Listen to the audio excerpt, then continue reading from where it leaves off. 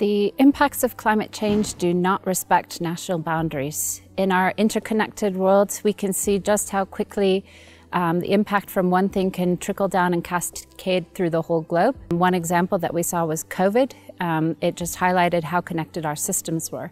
And this is the same with climate change. Uh, many countries import staple foods from other countries, and if one country has a loss of harvest, uh, they might put an export ban in place, and this causes food prices to rise.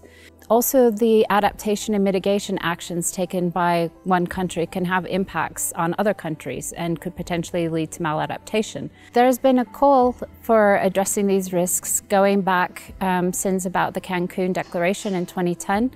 Um, the least developed countries asked for the least developed country expert group um, to put mention of these in the technical support for the development of NAPs, including also the recognition that adaptation had local, subnational, national, regional, and international dimensions. Since the initial call by the African Group of Negotiators and the Least Developed Countries Group, Others have started to recognize that transboundary climate and adaptation risks could have impacts on their abilities to adapt and to mitigate climate change. This type of risk is something that's sorely neglected um, by many countries.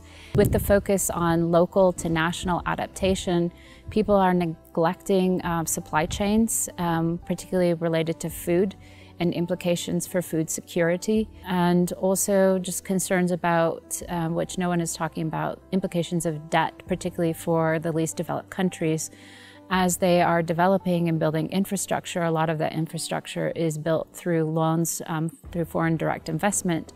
But if that infrastructure is not climate resilient, is not being built with the consideration of climate change, those countries can still be on the hook for repaying the loan even if that infrastructure has been damaged or destroyed.